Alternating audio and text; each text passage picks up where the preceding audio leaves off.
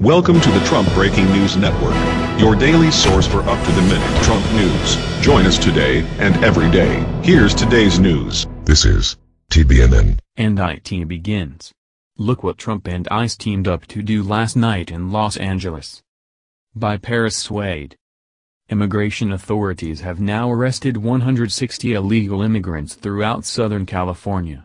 According to ABC 7, U.S. immigrations and customs officials have begun a targeted enforcement operation.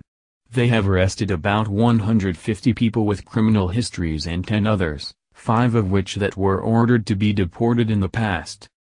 ICE has now said that the raids had nothing to do with Trump's executive orders. 160 illegal immigrants ain't even making a dent in Southern California. According to the Los Angeles Times, there are reports of over 1,000,000 plus illegal immigrants. That's why we need to get this out there. The job has just begun. It's time to make this country great again. Every single citizen in this country by definition should be here legally. Share this post to help us fight the mainstream media. Thanks for reading, Patriots.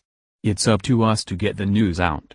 Do you think Trump will fix our illegal immigrant problem?